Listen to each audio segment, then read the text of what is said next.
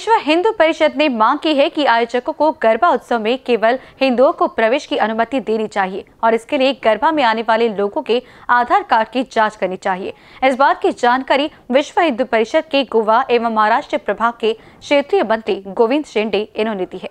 आने वाले कुछ दिनों में गरबा के बड़े आयोजन होंगे। माँ भगवती के आराधना शक्ति की उपासना प्रारंभ होने वाली है। और ये जो हमारे गरबे के आयोजन है, इसके माध्यम से हम भगवती की आराधना करते हैं, पूजा करते हैं, भक्ति करते हैं, माँ भगवती को प्रसन्न करके अपने सुखी जीवन की कामना करते हैं।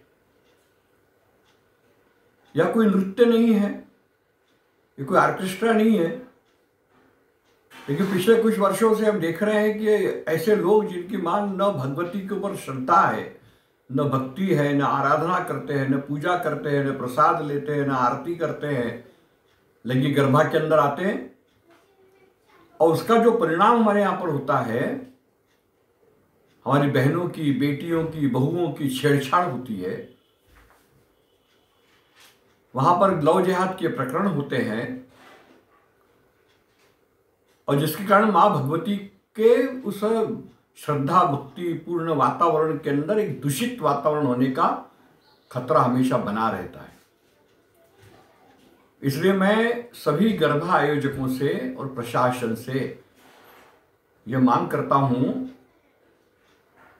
कि इन गर्भों के अंदर ऐसे लोग जो न भगवती को मानते हैं, न भगवती पर श्रद्धा है, न हिंदू धर्म के ऊपर उनका कोई विश्वास है, ऐसे लोगों को इस गर्भा के अंदर प्रवेश न दिया जाए। और ऐसे गर्भा आयोजकों से मेरा निवेदन है कि वे आधार कार्ड देख करके उनको प्रवेश दें।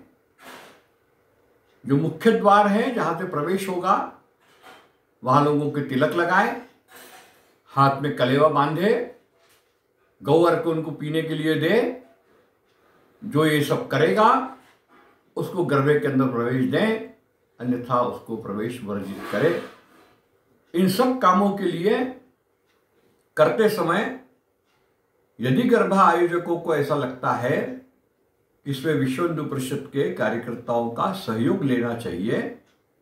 तो वे हमारे स्थानिक कार्यकर्ताओं से संपर्क करें, उनसे बातचीत करें और उनका सहयोग इसके अंदर लें। हमने अपने सभी कार्यकर्ताओं को इस विषय के लिए दिशा निर्देश दिए हुए हैं।